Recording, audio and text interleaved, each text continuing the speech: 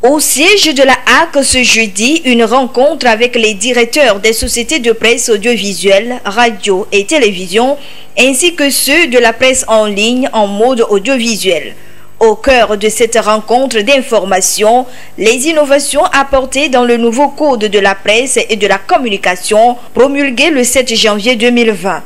Il était question pour les responsables de la HAC de rappeler les nouvelles dispositions contenues dans le code et les modalités de leur application effective. Pour ce qui est de l'audiovisuel, il faut que l'organe soit une entreprise de presse et qu'il ait été créé en tant qu'entreprise de presse, en tant que société. La deuxième chose concerne les dispositions à mettre en œuvre en ce qui concerne la qualification des professionnels. Nous avons identifié dans nos textes trois catégories de professionnels, le journaliste, le technicien des médias et l'auxiliaire de presse. Nous insistons particulièrement sur le journaliste.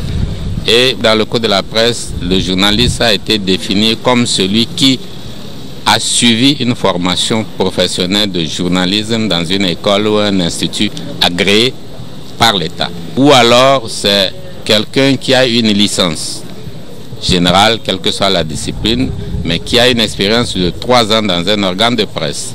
Ou alors c'est quelqu'un qui a le BTS et qui a cinq ans d'expérience, celui-là est journaliste. Si vous êtes journaliste et que vous devez diriger une rédaction, vous devez avoir sept années d'expérience avant de diriger une rédaction. Il faut séparer les fonctions de rédacteur en chef ou de chef de la division d'information ou d'état de l'information des autres. Ceci entre dans le processus de régulation et de la professionnalisation du secteur des médias au Togo. Il est à noter qu'une période moratoire de trois ans a été accordée aux organes de presse pour s'y conformer.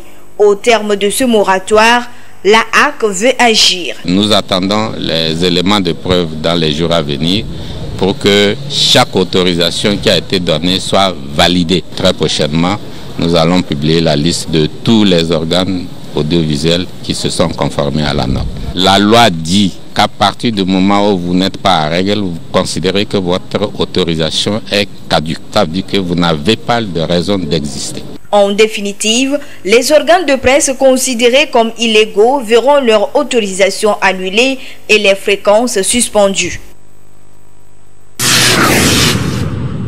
L'enfant apprend dans sa langue maternelle avant donc d'apprendre dans les autres langues, non seulement il renforce son savoir, mais en même temps, il ouvre son horizon. Et ça lui permet de fixer les savoirs parce que vu comment il désigne ceci dans sa langue maternelle, et la même chose se désigne ceci en allemand et ceci en anglais, il ouvre son horizon et il est très difficile d'oublier ce qu'il a appris parce que ça lui a permis de connaître l'objet ou le concept sous plusieurs angles. Pourtant, c'est le même. Voilà quelques avantages de la langue maternelle dans l'éducation des enfants. Malheureusement, certains citoyens accordent peu d'importance à leur langue maternelle. Ils préfèrent les langues étrangères. Au Togo, plusieurs projets sont initiés dans le but de promouvoir et de valoriser les langues maternelles. Le Togo avait une politique de faire en sorte que progressivement toutes les langues du Togo soient des langues écrites, enseignées, parlées. Aujourd'hui, plusieurs langues sont écrites au Togo. Hein. Tu prends le Moba, tu prends euh, le Kotokoli, tu prends euh, le Naoudam, tu prends euh, le Bassar, tu prends l'Ifé. C'est des langues écrites. Et aujourd'hui, certaines de ces langues sont en train de constituer leur académie. En vue de valoriser toutes nos langues maternelles, l'État est en train de réfléchir à comment mettre en place une académie togolaise des langues afin qu'au sein de cette académie unique, chaque langue se constitue et se construise. L'enseignement dans nos langues maternelles comme point de départ de l'éducation est très important, mais doit se faire progressivement en partenariat avec d'autres langues qui sont généralement occidentales et que ce multilinguisme va plutôt renforcer l'éducation. Et c'est dans le souci de sensibiliser les populations sur l'importance de la langue maternelle que l'Organisation des Nations Unies pour l'éducation, la science et la culture, UNESCO, a décidé d'instaurer le 21 février de chaque année, et ce depuis 1999, la journée internationale de la langue maternelle. Le thème retenu pour cette année 2023 est l'éducation multilingue, une nécessité pour transformer l'éducation l'éducation multilingue, une nécessité pour transformer l'éducation. L'éducation se fait dans une langue. Et lorsqu'elle se fait dans la langue maternelle, elle donne plus d'avantages et puis l'enfant acquiert vite et conquiert vite le monde. Maintenant, multilingue, pourquoi? C'est parce que lorsqu'elle commence, l'enfant commence à apprendre dans sa propre langue, dans sa langue maternelle, il maîtrise, c'est-à-dire l'enfant, son environnement et qu'il vient à apprendre maintenant dans une autre langue, il tente d'élargir son horizon de connaissances. La journée tend à éveiller les consciences. Beaucoup de personnes croient que lorsqu'on parle mieux français, on est civilisé. Mais si on va dans le sens même de la civilisation, quand tu ne connais pas ta langue, signifie par ricochet, tu ne connais pas ta culture. La journée internationale de la langue maternelle est une occasion pour l'UNESCO de réaffirmer son engagement en faveur de la diversité linguistique et inviter les États à mettre en place des mécanismes et des politiques pour promouvoir et valoriser les langues maternelles.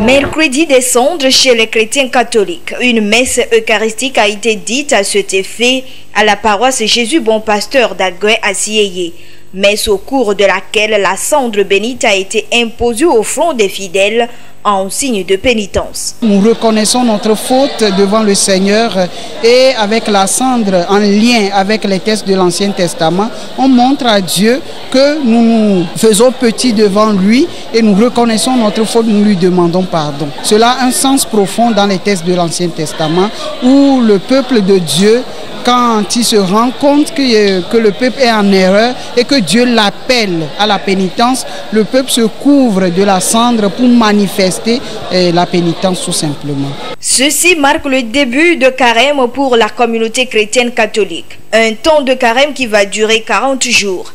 40 jours de marche avec Jésus-Christ pour se rapprocher de Dieu le Créateur. Pour bien réussir son carême, certaines attitudes sont à observer par chaque fidèle. Les attitudes, c'est ce que nous appelons habituellement les trois piliers du temps de carême. C'est d'abord la prière, qui est le dialogue avec Dieu, et aussi le jeûne, qui est le deuxième pilier, le jeûne qui consiste à la privation, se priver de tout ce qui nous éloigne de Dieu et qui peut-être fait notre plaisir. Donc se priver de notre plaisir sur la terre, mais pour se rapprocher plus de Dieu. Et ensuite, il y a l'aumône qui est le partage, qui manifeste notre attitude d'être comme Dieu, être proche de l'autre, donner à l'autre, manifester notre générosité à l'autre, comme Dieu même, il le fait pour nous tous. Le carême, c'est marcher avec le Christ dans le désert pour se purifier et ressusciter avec lui au jour de la résurrection. Le Père célébrant a aussi exhorté les fidèles lors de cette messe à vivre le temps de carême dans l'humilité et la discrétion. C'est donc parti pour 40 jours de prière, de partage et de privation. Une manière pour ces chrétiens catholiques de renoncer au péché et de se réconcilier avec Dieu afin d'obtenir le salut.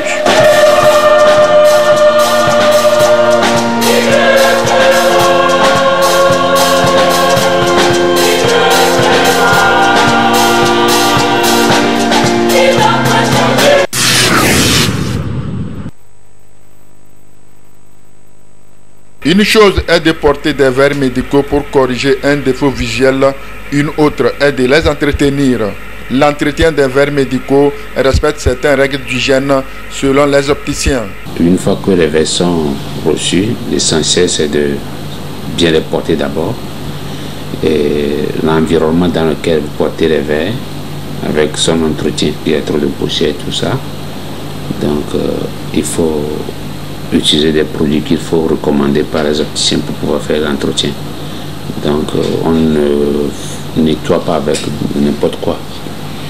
Quand vous avez les verres, il y a un tissu que l'opticien vous donne et avec sa seule que vous pouvez nettoyer les verres. Nous avons des sprays que vous devez appliquer sur les deux faces des verres avant de pouvoir nettoyer pour éviter les rayures. Il ne faut pas exposer eh, les verres aux sources de chaleur. Des fois, on a les verres avec les clés, on sort, il y a la clé à la main, les lunettes sont là. Alors que les lunettes sont faites pour être dans la boîte. Porter des verres médicaux sans prescription d'un spécial du domaine, c'est s'exposer à des risques.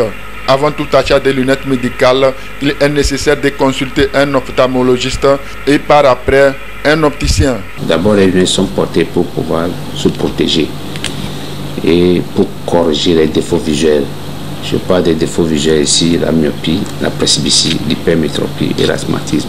Nous avons différents types de verres. Nous avons les verres unifocaux destinés à voir de loin ou de près, les verres bifocaux qui permettent de voir et de loin et de près, les verres progressifs qui permettent de voir à toute distance. Donc, euh, tous ces différents types de verres sont traités pour avoir une qualité supérieure. Ce qui fait que quand vous portez les verres, vous n'avez pas de problème. Quand on a un problème Dieu, il faut s'adresser d'abord à un ophtalmologiste. L'ophtalmologiste, c'est ce médecin qui va vous consulter, déterminer le type de, de problème que vous avez. Et c'est en fonction du problème qu'il va vous prescrire les verres. On ne se lève pas et on va au marché acheter des lunettes comme ça. Ce n'est pas bon. Vous pouvez choisir une paire de lunettes au marché que vous portez. Vous allez penser que vous arrivez à lire, mais ce que ça cause, ce serait très grave. Quand vous portez une prescription qui dépasse ce que vous devez porter normalement, vous allez faire encore plus d'efforts pour pouvoir lire. Les nerfs seront fatigués, les yeux seront fatigués, ce qui va endommager d'autres problèmes. Des conseils à mettre en application pour éviter des surprises désagréables. Des contrôles doivent être régulièrement effectués en respectant le calendrier établi par les opticiens.